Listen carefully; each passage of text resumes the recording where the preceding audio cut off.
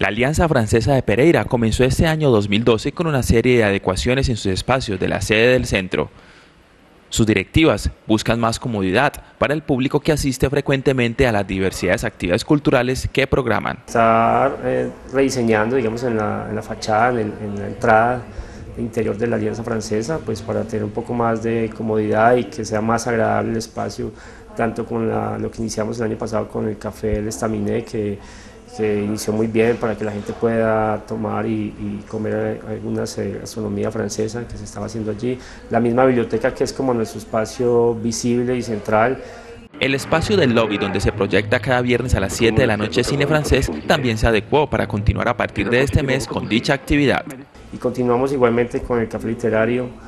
Este café lo hemos eh, adaptado a las, a las, fechas de cortocircuito, a las fechas de exposiciones de cada mes es el segundo viernes de cada mes, o sea que lo que haremos es que tenemos la exposición en nuestra sala Ips Klein y abajo en el primer piso tendremos el café literario.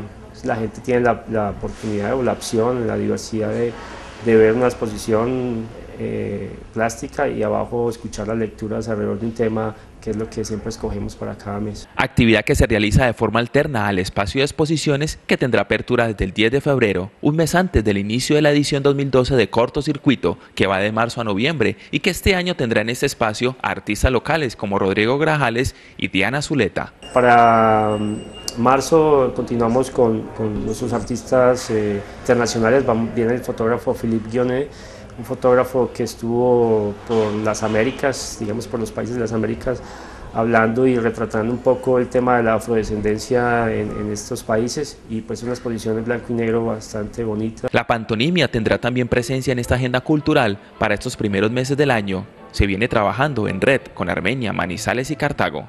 Eh, vamos a arrancar en, el mes de febrero eh, con un espectáculo de mimo, se llama el Bisó, es un personaje eh, bien reconocido en Francia, que ya tiene su estilo, es de la escuela de Marcel Marceau, este artista, Bissot, viene con una presentación que se llama 30 años de soledad, eh, para el 16 de abril, perdón, 16 de febrero. Vamos a tener en la Cámara de Comercio, en el Teatro de la Cámara de Comercio. En marzo, el circo contemporáneo francés Les Cousins presentará en el Teatro Cámara de Comercio su espectáculo Tubes y en abril, en el mismo espacio, se estará presentando un músico nacido en Isla Mauricio con una propuesta novedosa que va desde la electrónica hasta el jazz y la música clásica india.